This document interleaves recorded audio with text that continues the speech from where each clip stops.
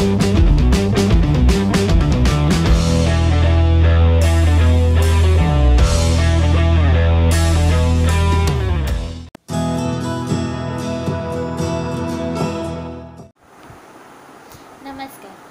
मी सृष्टी अमृत भाताणकर आपणासमोर एक कविता सादर करीत आहे आणि माझ्या कवितेचे नाव आहे निसर्गाचे अव्यक्त प्रेम.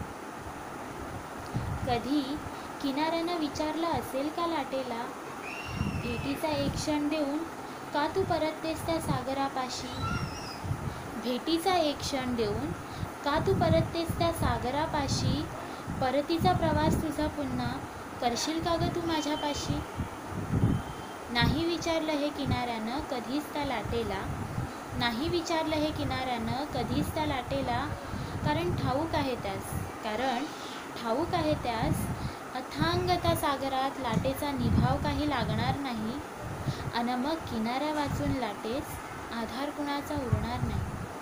अन मग किनाऱ्या वाचून लाटेस आधार कुणाचा उरणार नाही. कधी आभाळानं विचारलं असेल का चंद्राला? जातोस कुठं मला सोडूनी? का त्या प्रत्येक अमावस्येला? जातोस कुठं मला सोडूनी? का त्या प्रत्येक अमावस्येला? मग कधी परतेल का तो तारकांचा पुंज? सोबत घेऊन माझ्या चंद्राला. नाही विचारलं हे आभाळानं कधीच त्या चंद्राला.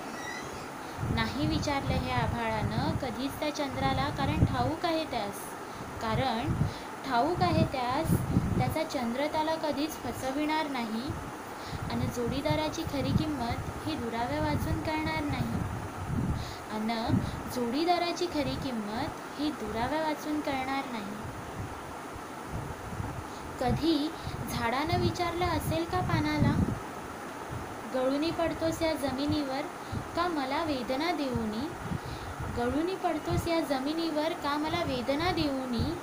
बहरेल का मग रूप माझं पुन्हा नव्यानं पालवी फुटता शाखांवरी? नाही विचारलं हे झाडानं कधीच त्या पानाला. नाही विचारलं हे झाडानं कधीच त्या पानाला कारण ठाऊक आहे त्यास.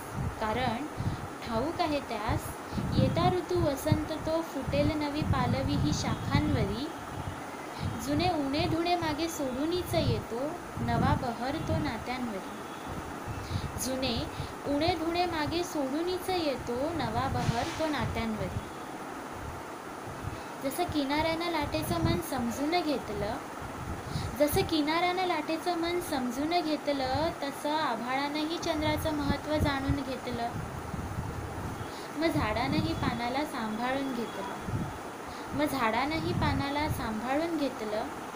आणि मग निसर्गानंही माणसाला प्रेमाचं हे अव्यक्त रूप दाखवून दिलं. आणि मग निसर्गानंही माणसाला प्रेमाचं हे अव्यक्त रूप दाखवून दिलं सध्या आपल्या देशावरच नाही तर संपूर्ण जगावर कोरोनाचं संकट आलं आहे. आणि अशा परिस्थितीत मी आपणा सर्वांचं आवाहन करू इच्छिते की प्लीज तुम्ही सर्वांनी आपल्या घरातच राहा आणि सुरक्षित राहा. आपण सर्वांनी घरातच राहूया आणि कोरोनावर मात करूया. धन्यवाद.